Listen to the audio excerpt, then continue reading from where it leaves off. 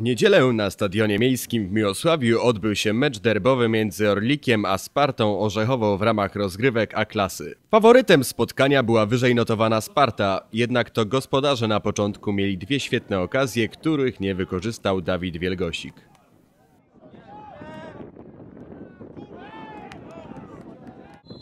Spartanie w pierwszej połowie zdobyli gola po stałym fragmencie gry, ale sędzia odgwizdał spalonego. Jednak rzuty wolne były silną bronią Orzechowian, o czym Orlik przekonał się w końcówce.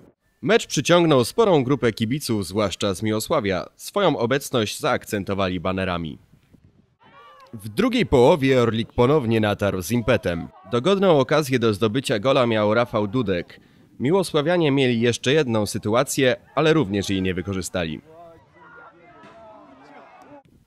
W końcówce przewagę osiągnęli Orzechowianie. Najpierw Kornel Witczak uderzył w słupek, potem Mateusz Nowak poprawił poprzeczkę.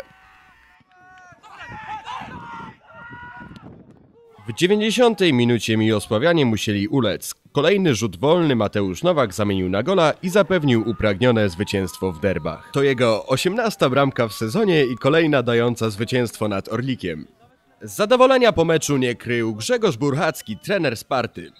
I chłopaków uczulałem na to, że Miłosław będzie grał po prostu jak o życie, nie? Oni nawet na Facebooku pisali, że to nie będzie mecz, tylko wojna i tak było, nie? Oni, oni naprawdę zostawili tutaj dużo serca i mieli też sytuacji dużo, nie? Naprawdę mieli dużo sytuacji, bo w pierwszej połowie parę razy wyszli na, na czysto i gdyby mieli więcej krwi takiej zimnej, to mogli to wykorzystać, nie? Z kolei szkoleniowiec Orlika Kornel Karakulski odmówił nam komentarza.